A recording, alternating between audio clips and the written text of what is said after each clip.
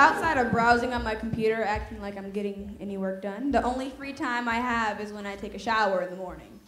Except I'm bombarded by all the things I've, you know, could have said on that racist Facebook post or how I could have looked less silly when asking that guy out that I really liked. I mean, he ended up marrying me, but that's beside the point. Uh, for all the talking that we do on campus, it seems like we get tongue tied when we need it the absolute most.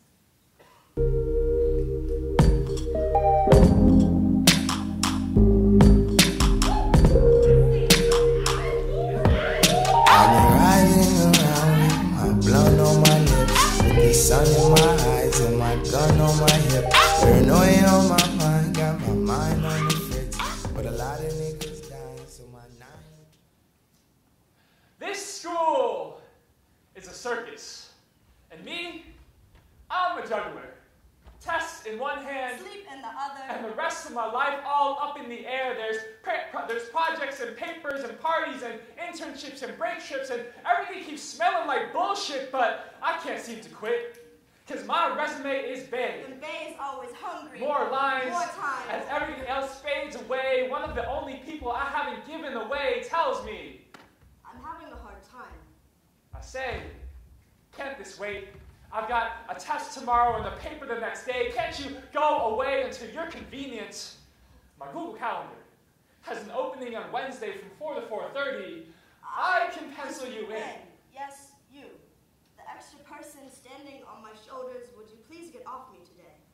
Depression should be factored into my GPA as a 24 credit class you pass just by staying alive in society gives me extra credit for keeping it a secret. For keeping scars out of sight, for waiting until I'm alone at night to fall apart. I wonder will my friends still look at me the same way if I stop calling my therapy appointments? Meetings? If I told them I was sick. And my symptoms are much worse than a runny nose. Maybe I'll tell them that my brain chemicals are as unbalanced as a college student's diet. Then again, it's always easiest just, just to say quiet. When I said, girl, can you tie my shoes? You're just so much closer to them. Or, listen, your personality makes up for everything else. I meant past the patriarchy. That your eyes have only reminded me of stardust. That your laughter is the soundtrack to my daydreams. I'm meant to tell you there are songs I hear only when you're around that sound like power ballads and wedding bells and R&B beats all at once. I meant to say I like you, but I didn't. Instead, I let the in my stomach burned me from the inside out. Let whatever acid was left over onto my tongue, into the air, into my words. Call it nagging. Call it begging for attention. Call it masculinity so fragile I can't even be real to the mirror. These days, I just call it missed opportunity. In fourth grade, I often sent the kickball flying over the school fence. Every time I stepped up to the plate, the boys would back up and wait to shower me with compliments like, You don't play like a girl. Back then, I took those words with pride. I could play. And Mom, I'm sorry it only took me a week to quit ballet. I guess I'm just too, too much, of a tomboy. tomboy.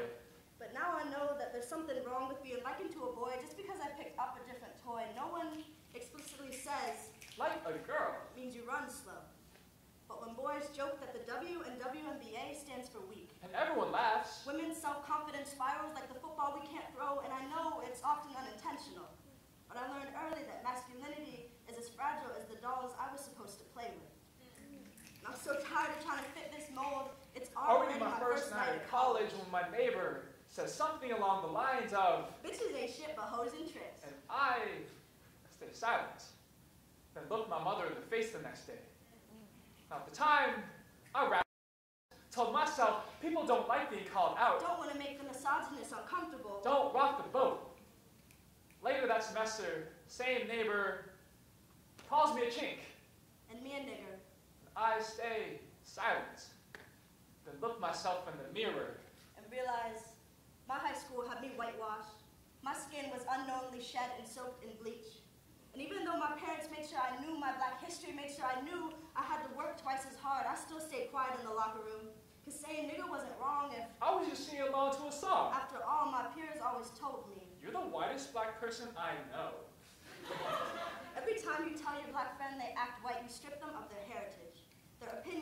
Generated from stereotypes that should have been lost long ago, banned dissolved like the way we outlawed how the master's whips would crack off down by heavy cotton sacks, but the cards are still stacked against us. The silence starts early. With the first, the first, oh, Hush. the first. We don't talk about that. It's insipid. Silence. Slithers into our cribs, slips into our mouths while we sleep, eats our tongues and replaces them. And we don't even notice the difference most of the time. Because it's fine. Most of the time. But there are times. When our tongues are the most important organ we have. when we are only as strong as our voice. When everything depends on whether or not we can speak That's when the silence strikes. That's when it binds our teeth tight together. and divides us. Using everything except what's supposed to matter. And we let it. Because it's easy. Because that's how it's always been. Because we've lived God's first part for so long, we forget what it feels like to scream.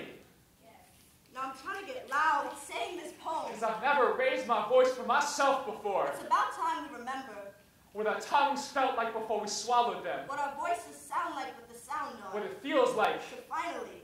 Breathe.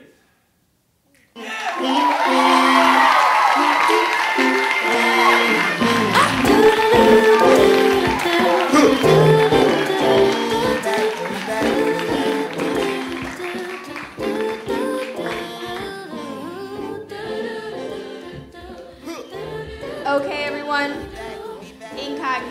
Mode is now shutting down. You've reached the end of this program. We, we appreciate all you all staying with us. But first, can we give a, humongous shout out to our events manager, Amber?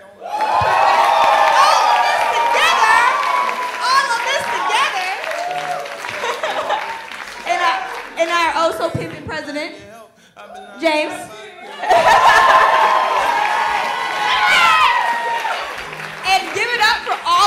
Amazing poets and performers tonight. Wait, wait, wait. That, no, we, wait. Except for that, we practiced this in the beginning. What the heck happened? Let's give it up for these poets and performers tonight.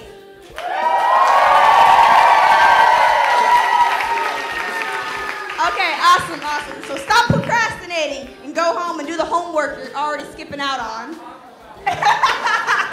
Until you need us for more dope distractions, peace, love, and poetry, have a great night.